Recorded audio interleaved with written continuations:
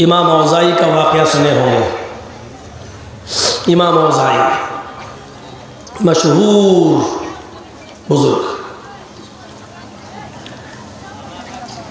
उनके मोहल्ले की, गाँव की एक औरत इमाम औज़ाई की बीवी से मिलने आई। सुनिए। मैं बहुत स्लो बोल रहा हूँ ताकि आप समझ आसानी से समझ जाए।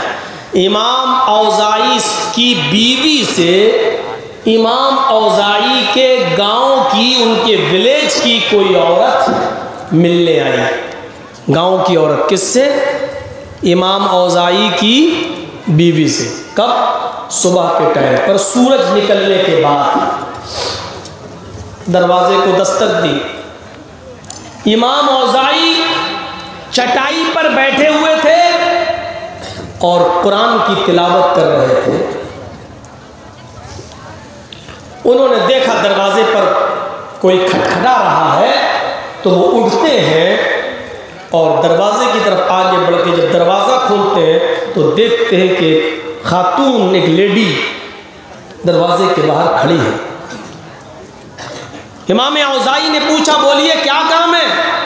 उसने कहा असलकुम इमाम औजाई ने जवाब दिया, वालेकुम अस्सलाम। उसने कहा, इमाम साहब, मुझे आपकी बीवी से मुलाकात करनी है।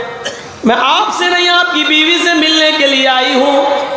इमाम औजाई ने कहा, आओ अंदर आ जाओ और चटाई के ऊपर बैठ जाओ। वो अंदर जाते हैं और अपनी बीवी से कहते हैं कि, तुमसे कोई गाँव की औरत मिलने के लिए आई है, तुम उससे मिल लो। उस गाँव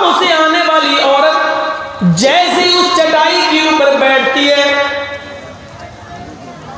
वो जो साड़ी, चादर या सलवार पहन कर आई हुई थी, जैसी वो बैठती है तो चटाई पर बैठते ही उसके पीछे का हिस्से में जो कपड़ा था, वो पानी से भीग जाता है।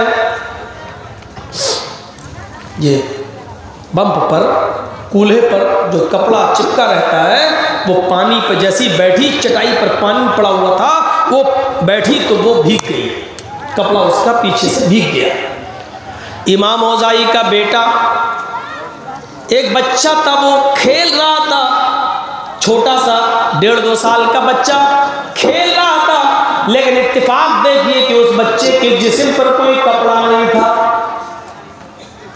उस गाँव की इस बच्चे के जिसम पर कपड़ा नहीं है, इसी ने इस चटाई पर पेशाब किया है और ये पेशाब कर दी, यहाँ से उड़ के गया है। ये खेल रहा था, इसने पेशाब कर दिया। देखिए, गाँव की औरत क्या समझ रही है?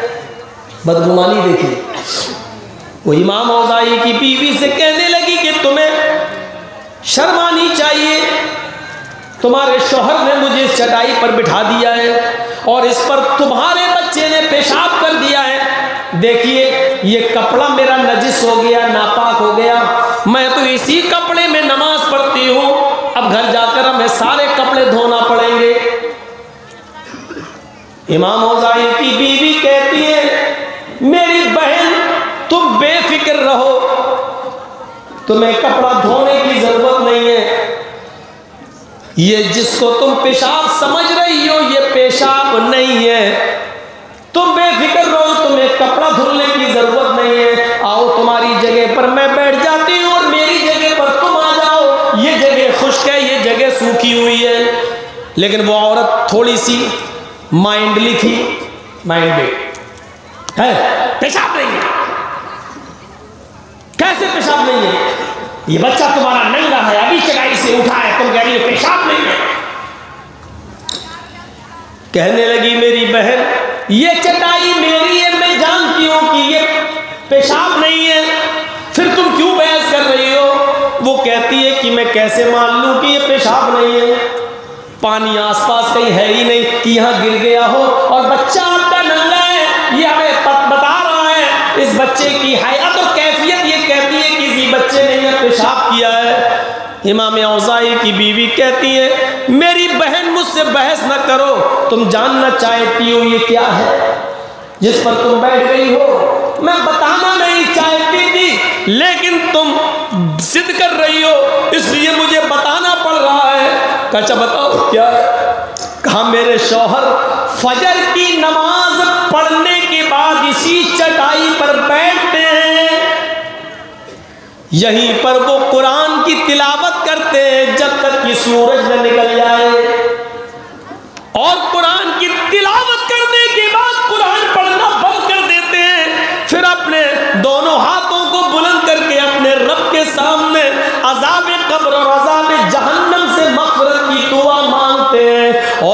उसमें इतना रोते हैं, इतना रोते हैं, इतना रोते हैं कि उनके आँखों से ये चटाई पूरी की पूरी भीग जाती है। मेरी बहन, तुम जिस चटाई पर बैठी हो और जिसको तुम पेशाब समझ रही हो, ये पेशाब नहीं है, ये मेरे शौहर इमाम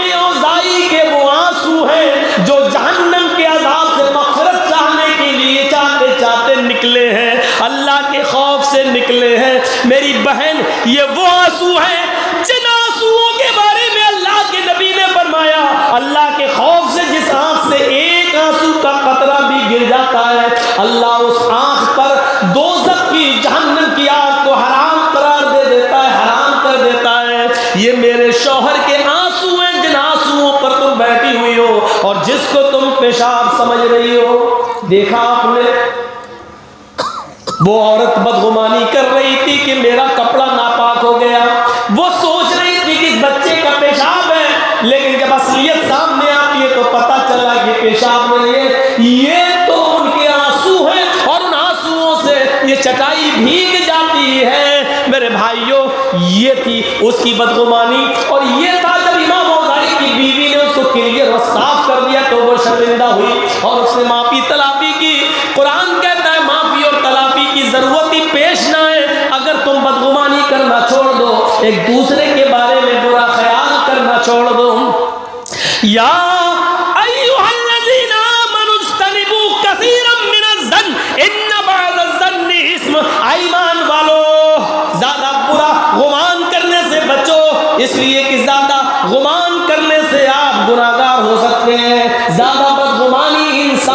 गुनाहगार बना देती है। मैं समझता हूँ, मुझे और भी आगे चलना है, इसलिए बदगुमानी के ऊपर इतनी चीज़ें काफ़ी हैं। हम एक एहसास अपने अंदर पैदा करें कि हम दूसरों के बारे में सोचते क्या हैं, और हकीकत कुछ और भी हो सकती है। इसलिए हम किसी के बारे में बदगुमानी ना करें।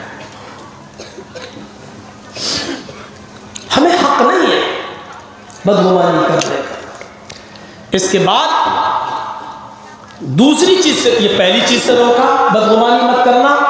दूसरी चीज़ अब हम आगे बता रहे हैं, वो भी बताया कि ये काम मत करना। वो क्या है?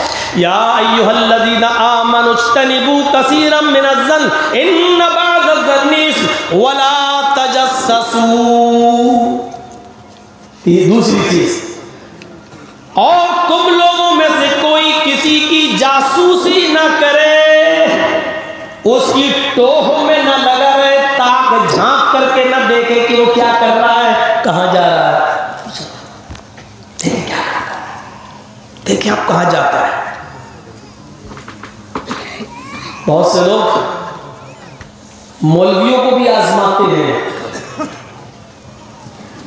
व्हाट्सएप पे होते हैं लड़के, लड़की बनकर बात करते हैं। देखें ये मौलवी कितने पानी में, ये भी जासूसी का एक हिस्सा है। फ़ोटो भी लगा देते हैं किसी बदकिरदार बदचलन औरत का। हैं। वो चाहे उसमें फिसल ही जाए बेचारा वो मौलवी, लेकिन फिर उसको नंगा करते हैं। ये भी जासूसी का एक हिस्सा है। या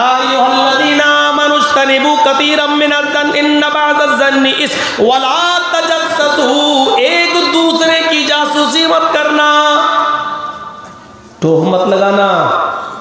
किसी के पीछे मत पड़ना। एक बात सुन और गौर से सुनिएगा। मसला भी, ये एक मसला भी आपको मालूम हो जाएगा। दरवाजे को बंद करने का हुक्म दिया गया है।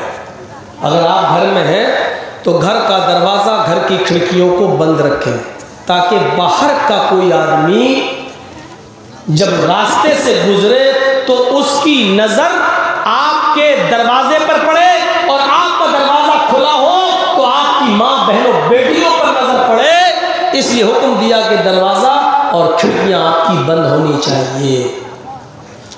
अगर किसी आदमी का दरवाज़ा खुला है, खिड़कियाँ खुली हैं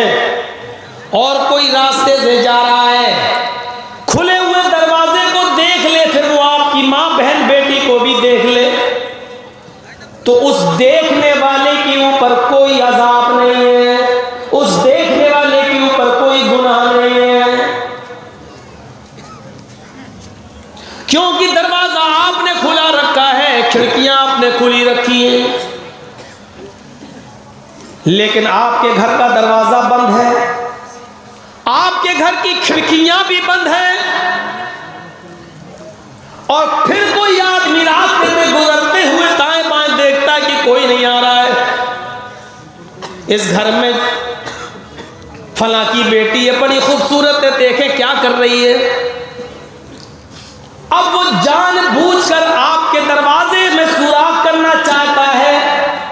या आपकी खिड़की में से हल्का सुराख है, सांस है वो उसमें से घर की बेपर्दगी, घर के हाल को जानना चाहता है।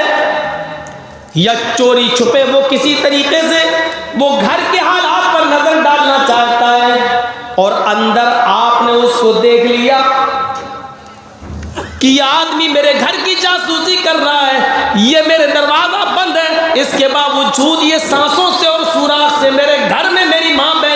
पर बुरी नज़र डाल रहा है, देखना चाहता है तो हदीस अल्लाह के नबी का फरमान